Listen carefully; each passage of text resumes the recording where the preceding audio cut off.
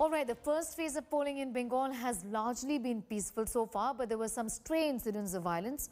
Suvendu Adhikari's brother and BJP leader Sumendu's car was vandalized in Kanti. He was not in the vehicle during the attack, but the driver got injured. They have blamed the TMC for this attack.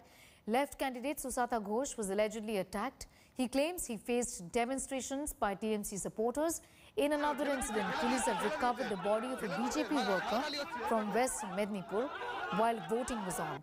The name of the BJP worker is said to be Mangal Soren. He is a 35-year-old. Two security personnel were also injured in a firing incident in Bhagwanpur constituency.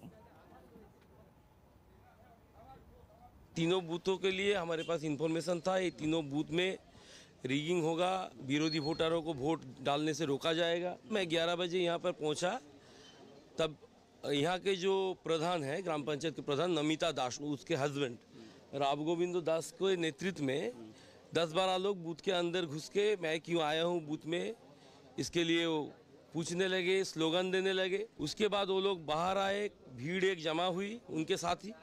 तीन चार हमारे कार्यकर्ताओं को बाहर बहुत बुरी तरह से मारने के बाद मेरे ड्राइवर को मारे और उसके बाद मेरी गाड़ी के साथ ऐसे। ड्राइवर का মেরে ড্রাইভার গোপাল সিং চোট লাগিয়ে চোট লাগিয়ে এই বেরিয়ে আসার পরে যে ঘটনা ঘটলো সেটা গণতন্ত্রের লজ্জা ছাড়ার কিছু না।